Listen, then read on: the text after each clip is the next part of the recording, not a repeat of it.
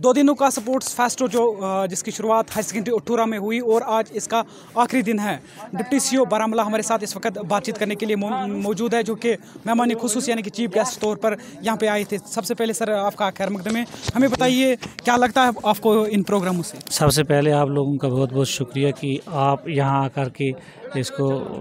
जो प्रोग्राम है, इसको आपने कवर किया है। तो मैं सबसे पहले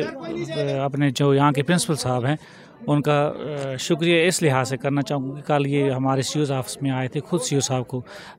इनवाइट करने के लिए कि हमारे यहाँ प्रोग्राम हम करवाने जा रहे हैं तो आपका आना लाजमी है। पर वो किसी और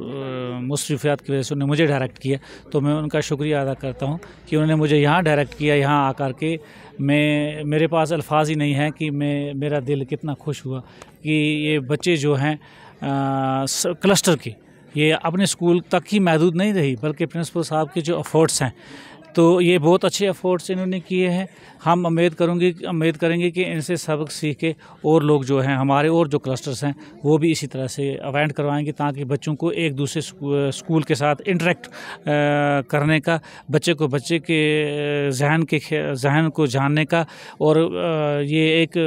स्पोर्ट्स जो है, हमारे बच्चे जो हैं, ये टैलेंटेड है, इसमें कोई शक नहीं है। और लेकिन उनको इस टैलेंट को उभारने के लिए प्लेटफार्म चाहिए। तो इन्होंने उन्हें एक प्लेटफार्म दिया और हम यही उम्मीद करेंगे कि आगे से भी ये इसी तरह से कोशिश करेंगे ताकि ज़्यादा से ज़्यादा बच्चे जो हैं, क्योंकि आप देख रहे हैं कि हमारा महाशय में कुछ ऐसी चीज़ें एंटर हो गई हैं जो जो हमें पीछे की तरफ़ ले रहे हैं तो बच्चों का ज़्यादा से ज़्यादा जहन जब स्पोर्ट्स की तरफ़ जाएगा तो वो उन चीज़ों से उनको दूरी मिलेगी और ये इधर का स्टाफ और ख़ास करके फ़िज़िकल वाले और सर का अपना स्टाफ सर की अपनी मेहनत जो है वो रंग लाई है। इस उम्मीद के साथ कि आगे से भी ये अपना जो है कोशिश जो है जारी रखेंगे ताकि ये आज इन्होंने क्लस्टर लेवल पर किया अगले साल अगर इन्हें मौका मौका मिला तो ये इंटर क्लस्टर करेंगे और उससे ज़्यादा जो है इससे पहले भी हमने देखा कि क्लस्टर लेवल के जो एग्ज़ाम है चाहे हम नीट जेई जिस तरीके से एग्ज़ाम होते हैं एंट्रेंस एग्ज़ाम वैसे सर ने जो है कंडक्ट किया था तो क्या कहना चाहोगे वो तो उस दिन हमारे सी साहब भी यहाँ शायद तशरीफ़ लाए थे। तो ये ये तो मेरे पास तो अल्फाज ही नहीं है मैं किस तरह से ये बोलूँ कि किस तरह से इनकी तारीफ़ कर सकूँ? क्योंकि जो वो इनिशिएटिव इन्होंने लिया वो एक बच्चे को पहले से ही इन्होंने दिखाया कि आने वाले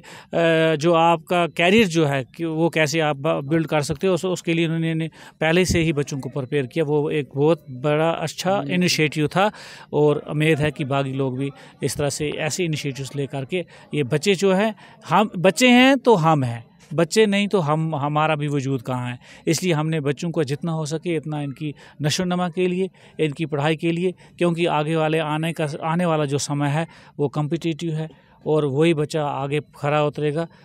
जिसमें टैलेंट होगा और जो ज़्यादा से ज़्यादा मेहनत करेगा और इसमें हमारे टीचरों का भी जो है रोल है बहुत अच्छा होना चाहिए और होता भी है। उम्मीद करेंगे कि टीचर इससे ज़्यादा से ज़्यादा मेहनत करेंगे ताकि इन बच्चों में जितना भी छुपा हुआ हिडन टैलेंट है उसको बाहर लाने की कोशिश करेंगे। शुक्रिया बहुत बहुत शुक्रिया। थैंक यू प्रिंसिपल साहब का बहुत बहुत शुक्रिया यहाँ रुजू किया और इनके एफर्ट्स जो हैं उम्मीद करूँगा कि बाकी लोग भी सबक सीखे इस तरह से ऐसे एफर्ट्स करेंगे ताकि बच्चों को ज़्यादा से ज़्यादा प्लेटफार्म मिले। शुक्रिया बहुत बहुत शुक्रिया। देखिए हमारे साथ डिप्टी चीफ एजुकेशन बारामूला जो हमारे साथ बातचीत कर रहे थे हालाँकि हमने आपको पहले ही कहा कि दो दिनों का स्पोर्ट्स फेस्टिवल जो है वो हायर सेकेंडरी उठूरा में उसकी शुरुआत हो गई और आज इसका आखिरी दिन है। फ़िलहाल आप बने रहिए हमारे साथ और देखते रहिए हमारी ये खसूस नशरियात कैमरा मैन तोफ़ी के साथ जिशन कादिर बारामूला।